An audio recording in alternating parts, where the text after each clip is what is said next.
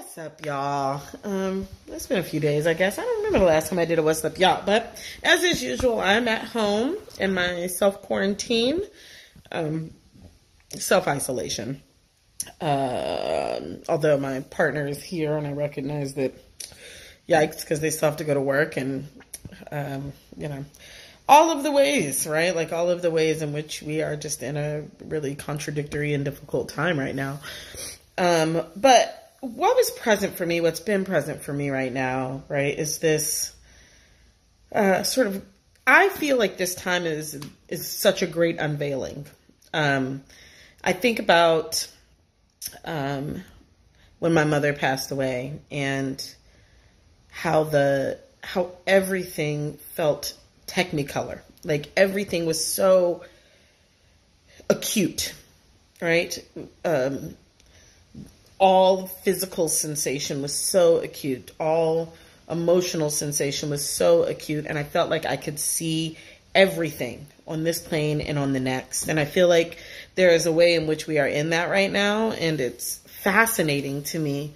Um, it's fascinating to me to watch the illusion fall away because that really is where we are right now right is watching the illusion the illusion of individualism the illusion of capitalism, the illusion of, you know, sort of self, um, self aggrandizement and, uh, um, selfishness, right? The illusion of, um, the illusion of disconnection fall away.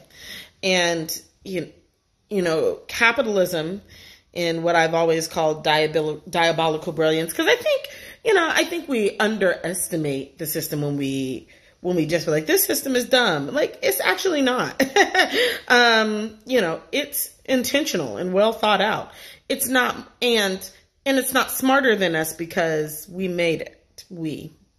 And I say and I always say we um, because it is important for us to be in acknowledgement of our complicity guess what? We made the system of ableism right now that is valued um, able bodies more than disabled bodies and chronically ill bodies. And so consequently, we as an entire system, right? Like we can totally just be like, oh, you know, Trump, uh, you know, completely dismantled the, you know, pandemic section of the CDC.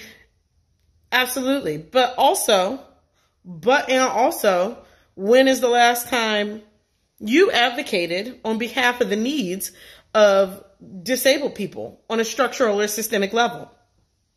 When have you followed the leadership, guidance, and um, uh, uh, uh, innovation of disabled folks? Don't get it twisted. Just six months ago, we was over here telling disabled people, fuck the straws you need, right? So now we're in a global pandemic with the issues of chronic illness and, um, you know, and health and safety literally impacting the entire world. Uh, and we are forced to think about a life um, that more often than not collectively we've maligned. And I think we have to be honest about that, right? And that that is true across the board at every intersection of privilege that we hold. Um, and so what is happening in this moment is that all of the lies that oppression and injustice are built on are being absolutely um, challenged and, and forced to be looked at as the utter fiction um, that they are, right? You was never alone. It, you was never surviving individually. you was never immune from the issues that impact disabled and chronically ill people. You was never immune to the issues that impact black and brown and impoverished communities. You was never, um, you know, uh, isolated from the experiences of doctors not believing you like that people experience. You was never, you know, let me, let me be clear. You were never isolated from the things that all of us have lived with at any particular axis of oppression or marginalization. Your, your privilege was always temporary, boo. It was always temporary. And it's temporary today, which is why every great revolutionary movement thinker across whatever modality you can think of has always said our liberation is bound up together. Lilla Watson said it, and James Baldwin said it, and Audre Lorde said it, and Grace Lee Boggs said it, and you, literally, and Malcolm X said it, and Martin Luther King said it, and Jesus said it, and Buddha said it. Literally, you're not going to find not one person people quote in these streets who hasn't said that. And so what we are being given in this moment is the grand unveiling of our interconnectedness. The profound and in technicolor example of the necessity of our care for one another. And and and that what I think I find the most fascinating about it is that it's being illustrated to us through isolation. It's like, oh, this thing you, this thing you didn't even pay attention that you were doing, we're going to force you to do it so that you feel what it is that you've been inflicting on yourself and inflicting on others, both in an individual, interpersonal, and structural and systemic way. Y'all gonna learn today. We gonna learn today. And, you know, we have an opportunity. I mean, I don't think we actually have a choice.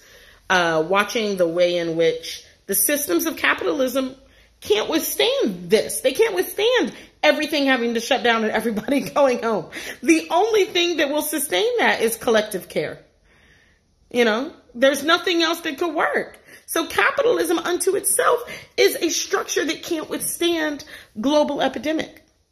We're watching it. I mean, global pandemic. We're watching it in real time.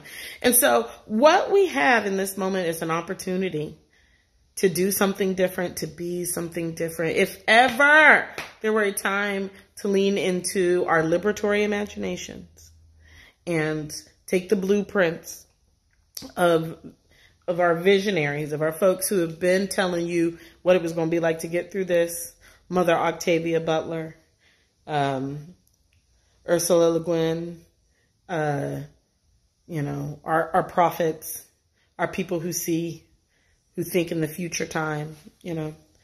Um, it's time. It's time to, it's time to vision. And we don't have nothing but time. People just at home, twiddling thumbs, masturbating and watching Netflix. It's a great time. That smells garlicky. It's a great time to think about what the future is going to look like.